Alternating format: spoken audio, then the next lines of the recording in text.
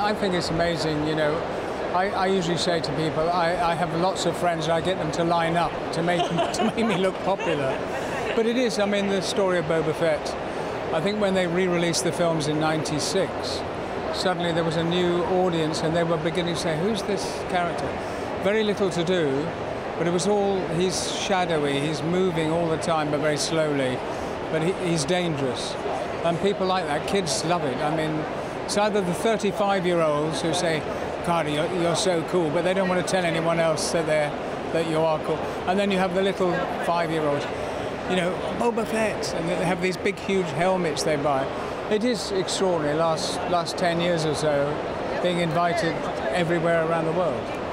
Do you ever think when you signed on to play Boba Fett that it would be like this?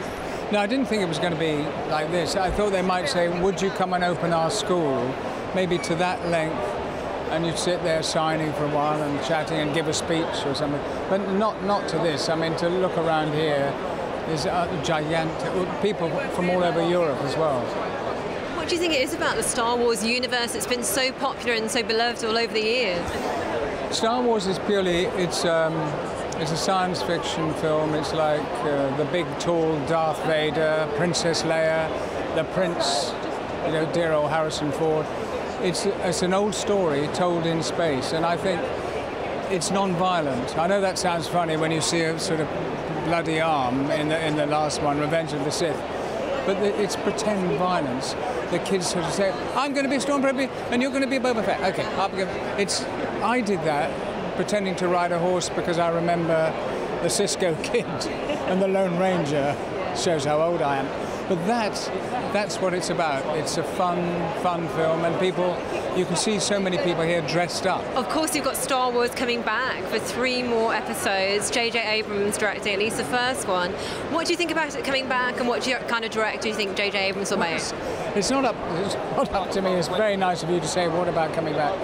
If if it happened, it would be it would be great. But if it doesn't happen, I'm not going to be upset because doing the original three I, I think that that was something. But I'd love to be involved in some some way. You know, just maybe walking past the camera like this. You know, to just drift away, just being cool. And they might say, "That's the guy we want."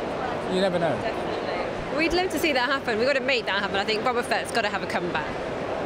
Yeah, but the best thing, you know that you have this possible problem that Boba Fett is there and he's being cool, and they said, oh, and if, if you're sitting there with the helmet off, they'll go, hang on a second, wait a minute. Oh, it's him. And people in the audience won't be listening to what's going on in the film. So it's best to, to wait and see.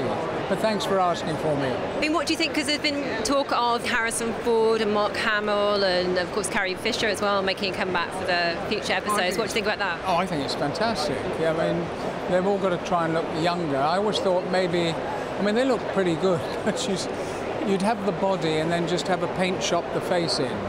Maybe they can do that with technology. And with me, don't need it because I wear a helmet. Yeah. Exactly. Yeah. And what was it like wearing that outfit? Unbearable. I mean, I, people say, what was the costume like? Unbearable. It was just so heavy and you were sweating all the time. But I was Boba Fett. I had to stand strong and be cool.